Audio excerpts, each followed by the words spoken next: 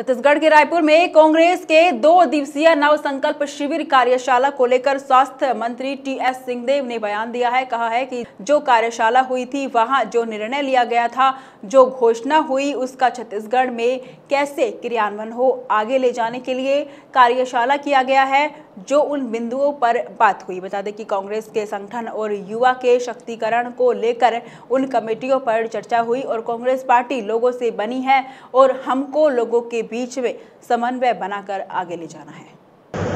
उदयपुर में आयोजित अखिल भारतीय कांग्रेस कमेटी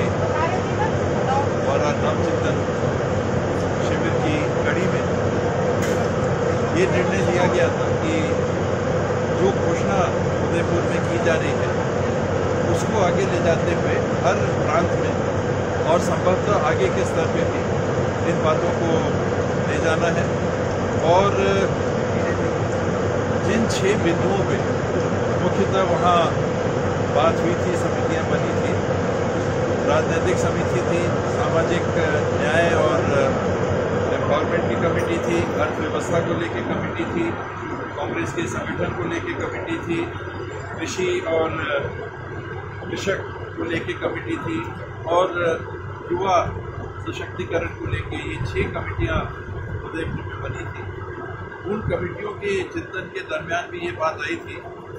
कि 560 लोग उदयपुर में देश से आके चिंतन कर रहे हैं। इस फीडबैक को और व्यापक करने की आवश्यकता है। तो निचले स्तर तक, जो राहुल जी ने संदेश दिया,